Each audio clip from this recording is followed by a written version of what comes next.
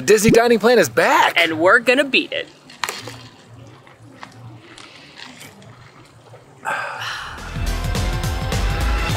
Hey there, Mam Fam. The Disney dining plan is back for the first time since 2020. So we have the Disney dining plan today and we are going to be doing our best to beat it, aka getting our money's worth and beyond. So we will be eating a lot of food today and along the way we will share the best ways to use the Disney dining plan, how to break down the dining plan, and if it's worth it for your family, which spoiler alert, all comes down to math. Are you ready? Food and math? That's my dream. Before we get started, it's important to answer what is the Disney dining plan? The Disney Dining Plan is a way to prepay for your meals and snacks around Walt Disney World and it is available only to Walt Disney World Resort guests. There are two different kinds of Disney Dining Plan, the Quick Service Dining Plan and the Standard Disney Dining Plan. The quick service plan includes two quick service meals and one snack per person per night of your stay. The standard Disney dining plan includes one quick service meal, one table service meal, and one snack per person per night of your stay. And both of the Disney dining plans include one resort refillable mug per person. They're back. Yeah. Now the important info, the cost. Yes. For the quick service dining plan, it is 5701 for adults age 10 and older and 2383 for kids age 3 to 9 each night of your Disney World stay. For the standard Disney dining plan, it is 94.28 for adults age 10 and older and 29.69 for kids age 3 to 9, again for each night of your stay. A couple of important things. You have to get it for your entire stay and for every member of your party in your room. You cannot pick and choose, only do a couple nights or one person on the dining plan. It's also important to note that kids age 3 to 9 must order off the kids menu when redeeming their table service and quick service entitlements. Kids 2 and under do not get a Disney dining plan. It is assumed they will share with other people or you'll provide food for them. And lastly, it's important to note that tax is included with those prices, but gratuity is not. So when you're at your table service restaurants, you still need to tip your cast members. Please tip your cast members. Please tip your cast members. We will dive into what is included when we get to each of those table and quick service locations, but first, let's talk about these little beauties. Now these mugs include any sort of standard beverage, so that's sodas, teas, and coffees, and you have unlimited refills during your stay. I used to have so many of these. That's so many. I love a refillable resort mug. Now, a refillable resort mug is $21.99 plus tax if you were to purchase it out of pocket at your Disney World Resort. Which means, considering sodas are around 450, coffee's around 380, you need to refill it what? Seven times? Seven times. Seven and a half. To get your money's worth if you're buying it out of pocket, but it's part of the dining plan. So, as we go throughout the day today, again, we're trying to beat the dining plan. We are gonna total up everything we spent. So with tax, these two beautiful resort mugs, don't look at Goofy when I say that, Yeah, don't do that. would have cost us $46.62 out of pocket with tax. And I think we should refill them one more time before we go. Huh? But the most important thing you need to know about these mugs, these are useless at Walt Disney World parks. Only good at resorts. They are only good to refill at your resort, so keep that in mind. I see people all the time put their coffee in it, bring it to the park all excited to fill it up at Pecos Bills. You cannot fill this up at Pecos Bills. So just keep that in mind. Uh, what are you doing? Stretching.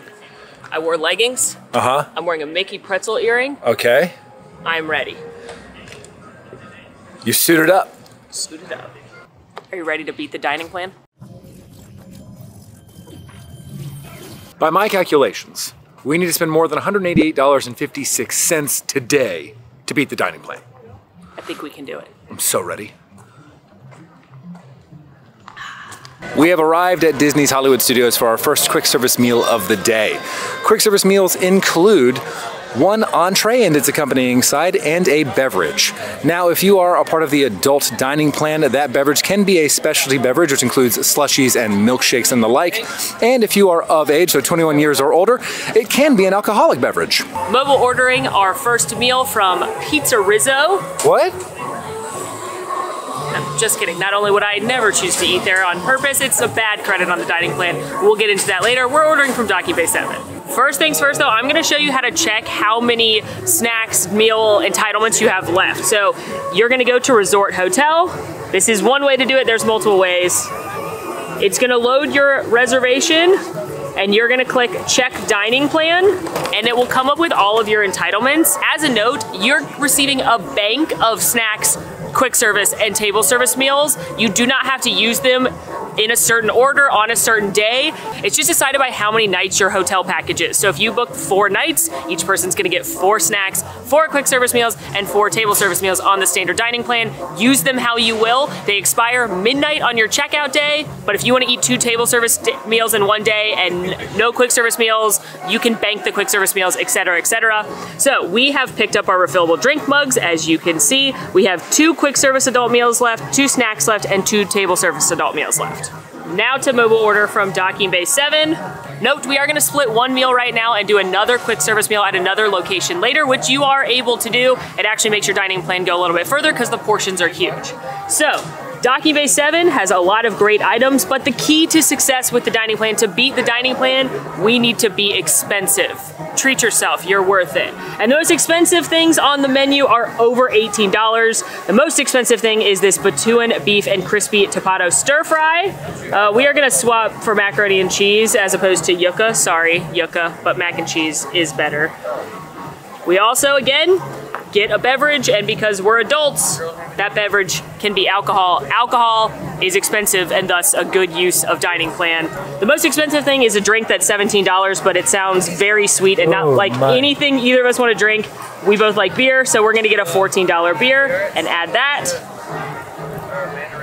and we're gonna view my order. It's gonna apply your dining plan meals and snacks. The app is gonna default to using the dining plan keep that in mind for what we're going to talk about next.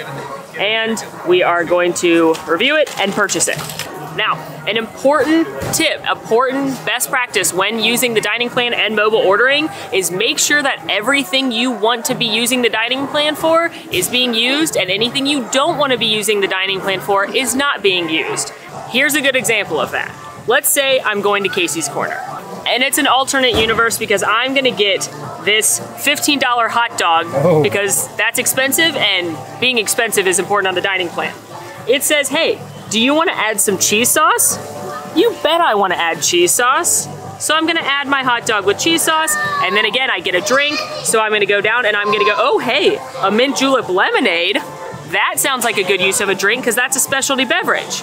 Now, if I go to view my order, it's applying my meals and snacks. And you'll notice it's counting the hot dog as the meal. The drink is included with the meal, but it's trying to make the cheese sauce my snack. The cheese sauce is a dollar, and thus a horrible use of a dining plan snack. So therefore, when you're checking out, you need to make sure that anything you do not want to be using as a snack is not being used as a snack. So you need to click modify order, change dining plan options on the cheese sauce and use I don't want to use my dining plan for this item. Click that and save.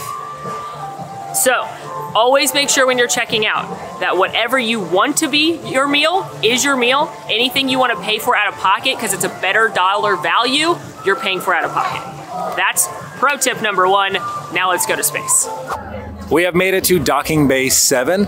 Docking Bay 7 is the main quick service restaurant here in Star Wars Galaxy's Edge. And the reason that it is a good quick service option for your dining plan is it has one of the higher average costs per meal at $16.14, which puts it at a much higher dollar value than other standard quick service restaurants that serve things like puffy pizza or burgers. Love Docking Bay 7 as a Star Wars fan. It is themed to be a docking bay when ships come to port from space. And a couple of cool Easter eggs that you can see, just a few. If you look here, this main crate has the number 80 as well as 77 above it, and the top crate being 83. Now, those are a reference to the release years of the first Star Wars trilogies. So 1977, 1980, and 1983.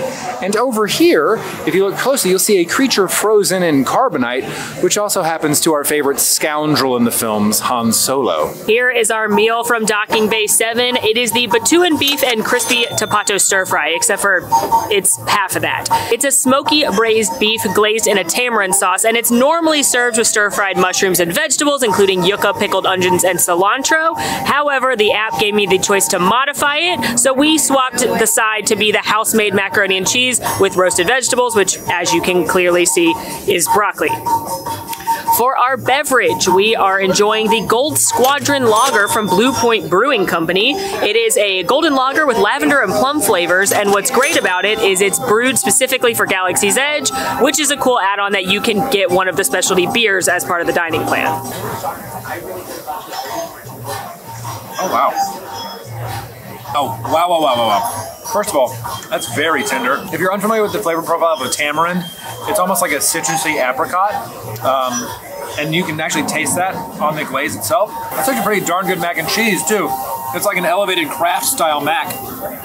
I yeah, I really, really enjoy this. It, this actually surprised me. I wasn't expecting the beef to be this tender. I really enjoyed this.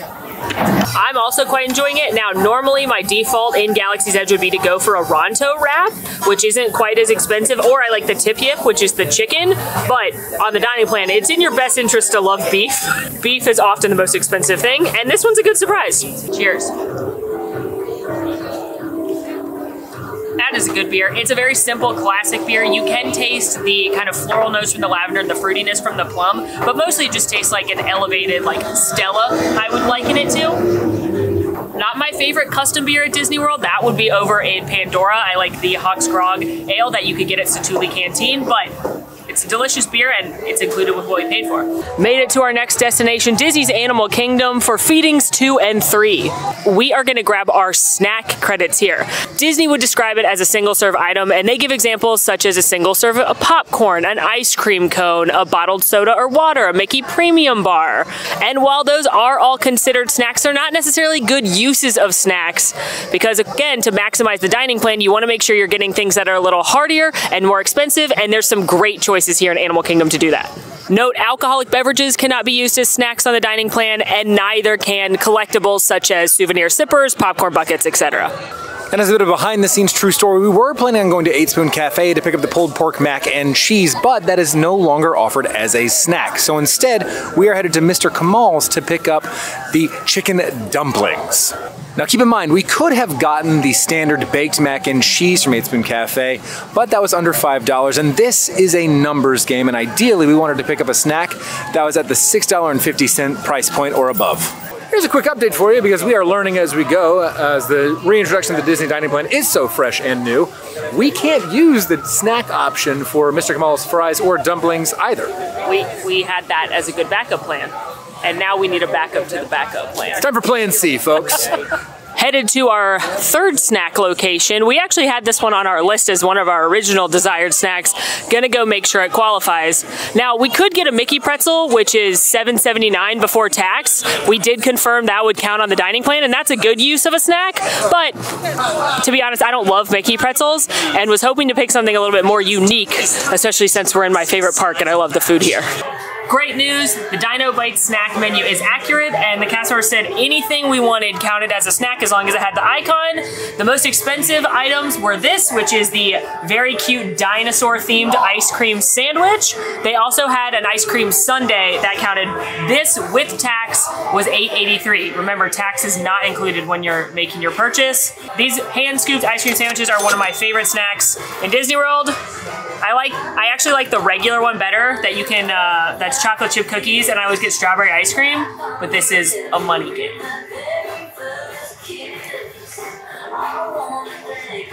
These sugar cookies. You're listening to WDNO Radio. These sugar cookies remind me of the cookies they used to have at McDonald's in the kids' meals because there's some lemon flavoring to them. But it's sugar cookies, vanilla ice cream, rolled in some cookie crumbs, very cute, very simple and delicious. Obviously huge and shareable. Great use of a snack credit for these cookie sandwiches.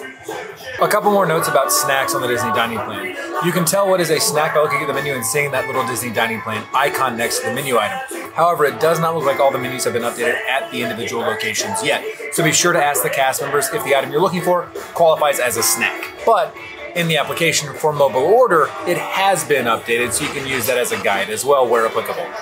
Additionally, while in the past you were able to swap out any unused quick service meal credits for three snacks at food courts, that is no longer something you can do under the new dining plan.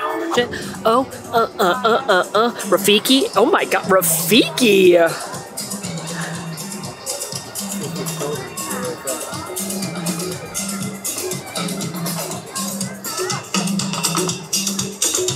So we asked around and we're looking for a specialty pretzel like the cream cheese stuffed pretzel or the jalapeno cheese stuffed pretzel, but unfortunately they are no longer sold at Animal Kingdom. So we went with the classic Mickey pretzel, both for the sake of time and budget. This clocked in at $8.30 after tax. It also came with the cheese sauce. Thank you, Vanna, for the quotes. How unique. My favorite part is how it doesn't move much. Let's just... Smell came back for a second round. Let's just tear off an ear here and taste without the cheese first. We'll get some cheese in a second. Well, that's a Mickey pretzel. Nothing to write home about. Has that sort of classic soft pretzel taste. This one, a little bit more dense than I'm used to with pretzels, but I guess that's just to hold the shape of Mickey. And now the cheese. Cheers.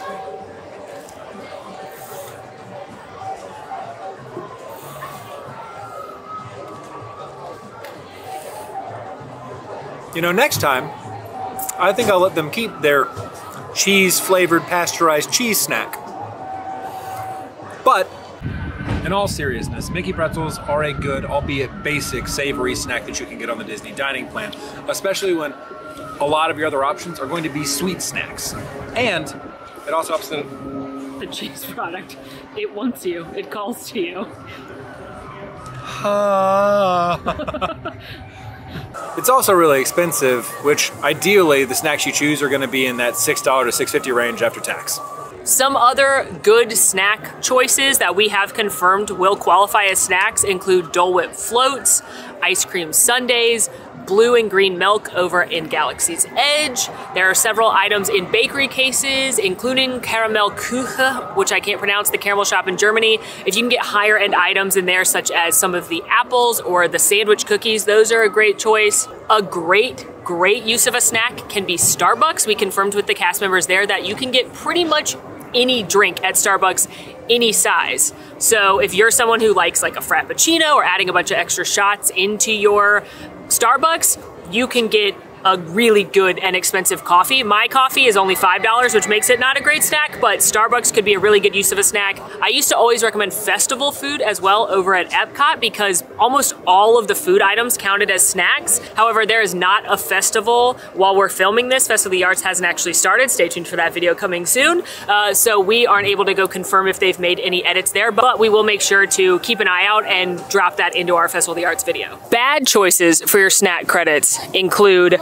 chips, single serve fruit, bottled soda or bottled water, single serve popcorns, dipping sauces like we saw at Casey's before. Basically anything under $5 especially is a bad use of a snack credit. Okay, two snacks that Animal Kingdom acquired. It was a little bit more difficult than we had first anticipated though.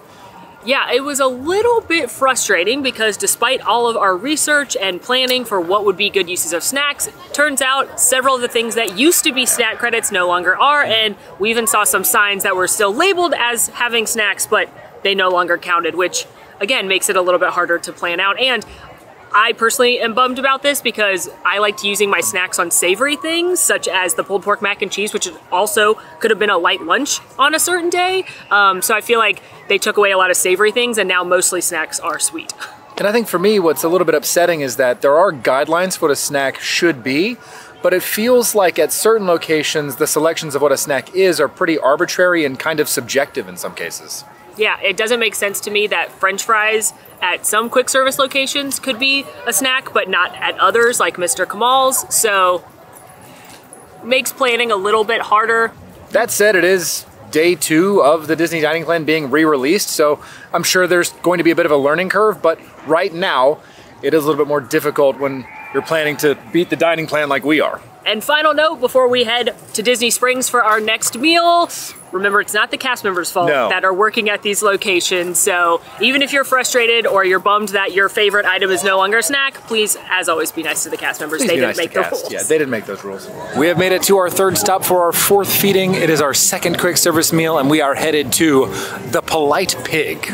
The Polite Pig is a barbecue joint that is owned by local legends and James Beard Award nominees James and Julie Petrakis, and it is, by my calculations, the best spot to pick up a quick service meal because the average price of entrees, entrees alone, is $19. That's not even including a drink yet. And also, it's delicious.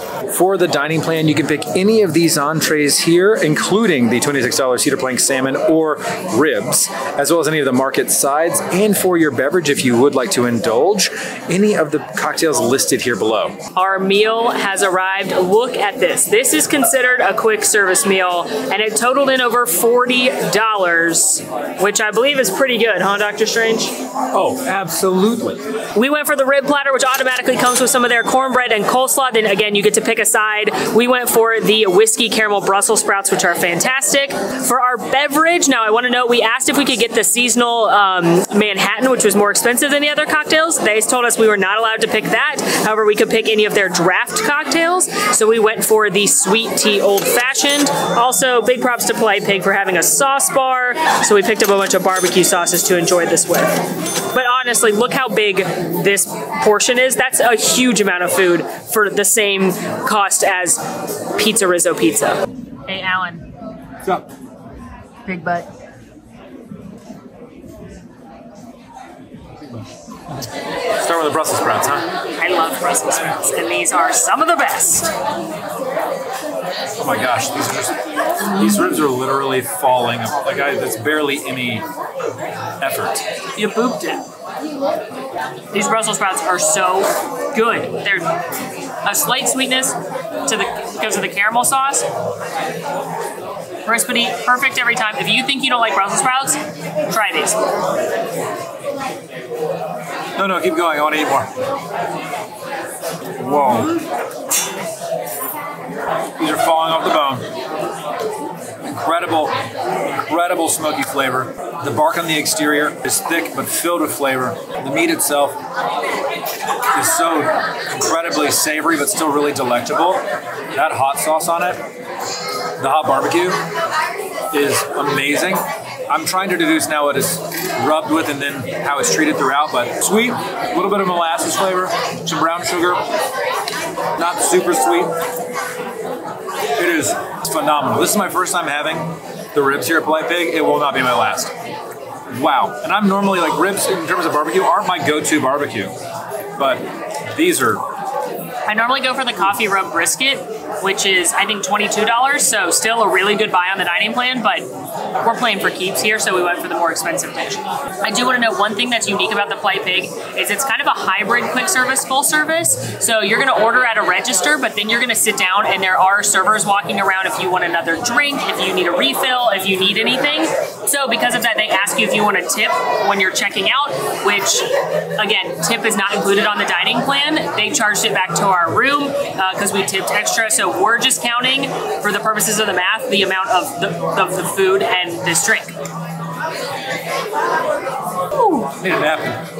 That is scrumdiddlyumptious. When the cast member let us know that the uh, Manhattan was not included with the dining plan, we asked what a good non-sweet drink would be, and she suggested the sweet tea old fashioned, which I was worried because it says sweet in the name would be too sweet, but she let us sample it. You can sample the draft cocktails if you need to, and it's not sweet at all. It's a really good old fashioned. They have a bourbon bar here, high quality bourbon, slight sweetness because of the tea, but not overpowering at all. A really good cocktail, and I'm tickled that that's on the dining plan. It's akin to like an Arnold Palmer. But boozy. Yeah. Speaking of cocktail, it is in your best interest on the adult dining plan to buy at least a specialty drink, but certainly go for a cocktail if you do choose to imbibe, because that is going to be the easiest way to beat the dining plan. Also, note though a weird caveat: only 10 and older adult dining plan members get the specialty beverage. If you've got someone three to nine, they're getting whatever drink is included with the kids' meal. So. There could be a scenario where if you've got an 8 year old and an 11 year old, the 11 year old can pick a smoothie or a milkshake, the 8 year old has to get whatever's included with their meal. So just know that going in, that there's going to be a difference in how your 3 to 9 year olds are treated and how your 10 and ups are treated. Because on the flip side of that, there's often a dessert element to a kid's meal that won't be included with quick service adult meals.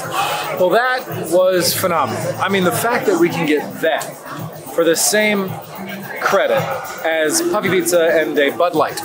Unbelievable. Highly recommend Polite Pig dining plan or not. It is a phenomenal eatery in Walt Disney World.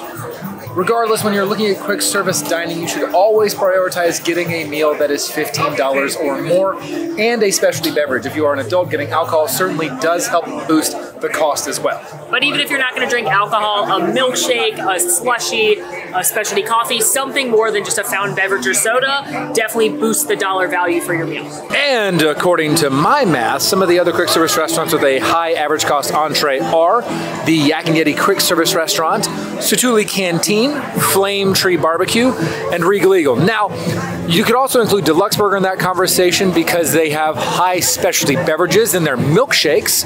Columbia Harbor House also has some pretty high cost meals with that lobster roll. And then you have places like Casey's Corner where if you get their specialty hot dogs, they crest the $16 range. Basically, if you like meat, especially barbecue, you can get higher cost items. Classic theme park food like chicken tenders, puffy pizza, burgers, or non meat items are going to be a lot less. Made it to our final destination of the day for our final feeding. We are headed inside Disney's Polynesian Village Resort. Ooh, the smells of the Polynesian are so, so good. The Polynesian Village Resort is home to one of the most iconic and legendary dining locations in all of Walt Disney World. And we will be having dinner, yes, you guessed it, friends, at Ohana. Table service entitlements include one entree, one dessert, and one beverage. Additionally, in the past, you were able to swap the dessert for an appetizer, and you're no longer able to do that. And like with the quick service meals, if you're on the adult dining plan, that beverage can be a specialty beverage, including alcohol. Note that several buffets, such as Cape May or Boma, as well as several all you care to enjoy meals, such as Ohana, do count as one table service entitlement, even though they're not a specific a la carte meal. By my calculations, you should be targeting 55 to 60 dollars in total for your table service meal in order to maximize the value you're getting from those meals. Per person. Per person, yes. Other good options include character dining for lunch or dinner. Those meals are typically in the $60 range. That includes places like Tusker House, Chef Mickey's, Crystal Palace. Garden Grill, Oh yeah. Hollywood and Vine. Yep. Other good non-character dining options include Homecoming, Teppan Edo, Via Napoli, Steakhouse 71, Boma Dinner, and another really good option for your table service credit is the Fantasmic Dining Package, excluding the Hollywood Brown Derby. With that, you are going to get dinner and a reserved spot for Fantasmic. The best option for this is Hollywood and Vine, which costs $75 per person. An important note when it comes to table service dinners is that some restaurants are considered signature dining. They're the more expensive meals, and those are two credits on the dining plan, two table service entitlements per person for that one meal. Signature restaurants include places like Jiko, California Grill, Citrico's, Haleo, Brown Derby, Hoop Doo over at Fort Wilderness. That's two as well. And also some of the character dining experiences, such as any meal at Cinderella's Royal Table, lunch and dinner at Akershus in Norway, Be Our Guest lunch and dinner, or Storybook Dining with Snow White. Now, mathematically speaking, it is incredibly difficult to beat the dining plan with a signature meal because while the entrees at a signature dining experience might be double the cost of a standard table service dining meal, it's going to be difficult to bridge that gap with drinks and desserts. Basically, the average cost of an entree at a non-signature, just regular table service restaurant is probably in the twenty-five to thirty dollar ish range. Yeah. Your sig- and your signature entrees are going to be more in the fifty to sixty dollar range. However, you're not getting another drink or another dessert, but you're still spending two credits. Hopefully, that makes sense. Much like at your quick service dining, when you are at a table service restaurant that is not a buffet or has a prefix cost, like Ohana, then you're going to want to look for the most expensive item on the menu. And more often than not, that comes down to meat, more specifically, steak. As the granddaughter of an Iowa beef farmer, I love that. It often works out in my favor as someone who loves eating steak. But if you're someone that doesn't eat red meat, you're vegetarian or vegan, those items are going to be a lower cost. So you really need to figure out if you can beat the dining plan or make it worth it. And ultimately, that all comes down to the math. You're going to want to look at the dining locations you want to eat at on your trip. Take a look at the cost of those entrees that you're most interested in, and then set that against the cost and value of the dining plan to figure out if you really are maximizing the value of that plan. That's a lot of math talk. Yeah. Are you ready to eat nudes now? Can we do math there too? You can. Okay. Yeah. Please count how many plates of nudes I eat. On it.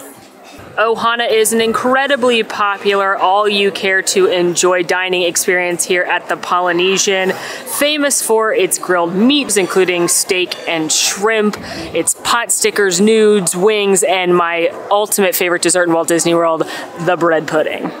Ohana is $62 per adult out of pocket, which is why it's such a good use of a dining plan credit because that doesn't even include tax or whatever tropical drink we might get. Uh, it also doesn't include gratuity, which remember you have to pay those extra on the dining plan. Now we've done a very in-depth item by item review of Ohana in the past, so we're gonna keep this a little bit shorter and sweet since this has been an overload of information and content already. Uh, so enjoy this lovely montage. Try not to drool.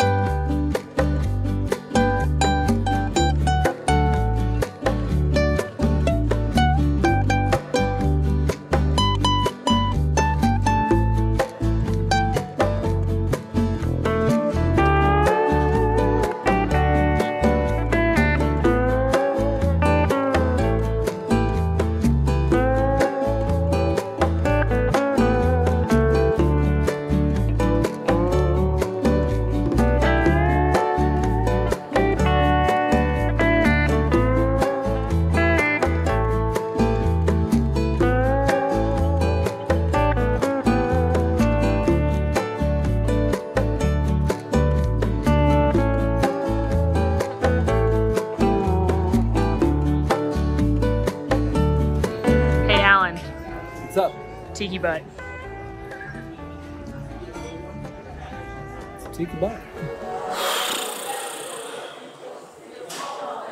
Well, I can barely move. If you don't leave Ohana with the meat sweats, did you even go to Ohana? No. What's your favorite part of Ohana? The steaks, the mm. wings. Mm. What about you? It's got to be the nudes and the bread pudding. Oh, A classic. carbs on carbs on carbs. A classic. A lot coming off of a day of eating, though. You know what?